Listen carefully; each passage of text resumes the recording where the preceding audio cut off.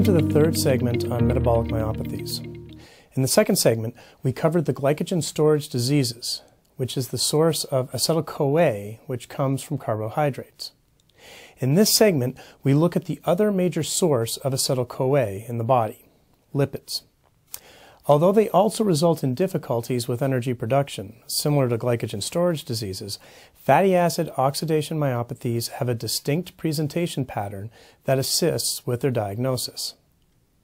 In the present session, we will once again reflect on the principles of cellular respiration discussed in the first segment to explain the patient presentation pattern within the fatty acid oxidation myopathies. We will then identify some of the more common forms of this myopathy and discuss their specific presentation patterns.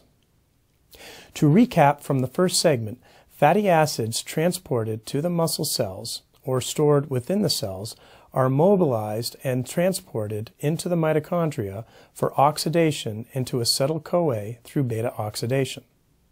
Transport through the inner mitochondrial membrane requires the carnitine shuttle system and activity of the carnitine acyltransferase enzymes.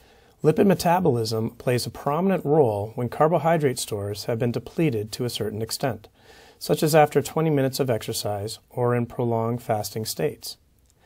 As in glycogen storage diseases, fatty acid oxidation defects result in energy deficiencies that may lead to the production of reactive oxygen species and muscle damage, a condition known as metabolic crisis. The symptoms are therefore similar between the two classes. The patient complains of muscle pain and cramping, which in severe conditions can lead to rhabdomyolysis and proteinuria. The difference is the conditions under which each of these conditions occur. While the symptoms for glycogen storage diseases appear early into physical activity and decrease as the activity continues, with fatty acid oxidation conditions, the patient is fine in the early phases of physical activity and is more tolerant of high intensity activity, but notices symptoms further into prolonged muscle activity. These patients are also more tolerant of dietary carbohydrate, but struggle with prolonged periods of fasting or metabolic stress, such as when fighting off disease. A careful patient history can help to identify a potential metabolic myopathy and distinguish between errors in carbohydrate versus lipid metabolism.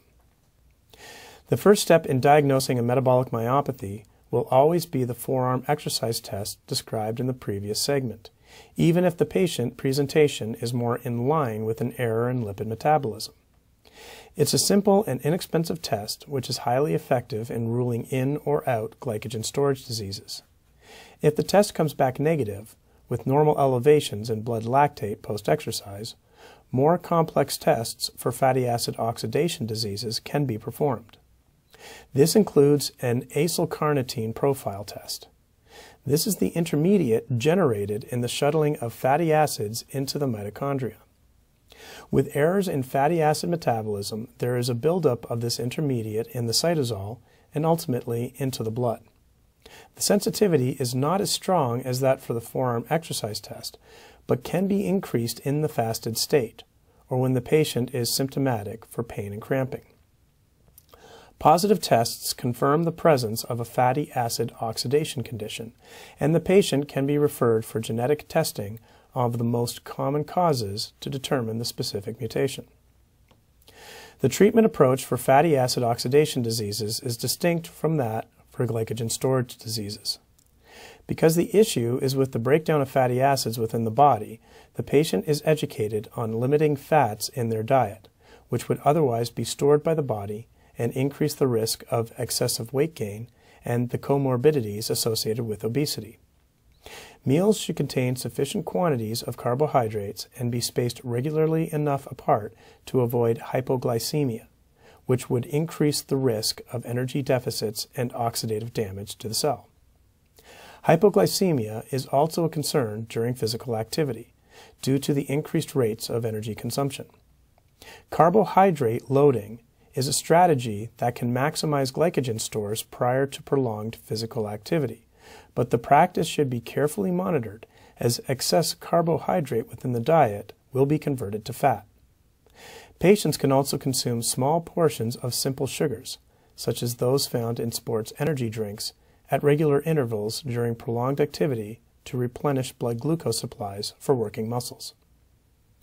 The most common form of fatty acid oxidation myopathy involves mutations to the CPT2 enzyme found within the inner mitochondrial membrane.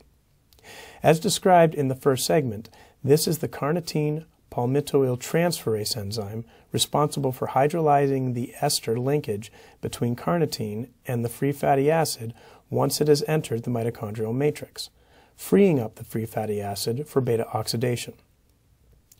The disease results from mutation to the CPT2 gene found midway along the short arm of chromosome 1. It follows an autosomal recessive inheritance pattern, requiring two dysfunctional alleles for the symptoms to present. Without the enzyme in place, there is a buildup of acylcarnitine in the cell, which can interfere with cellular function and contribute to muscle cell damage. Despite being the most common of the fatty acid oxidation myopathies, it is still exceptionally rare, affecting only 1 in 250,000 individuals.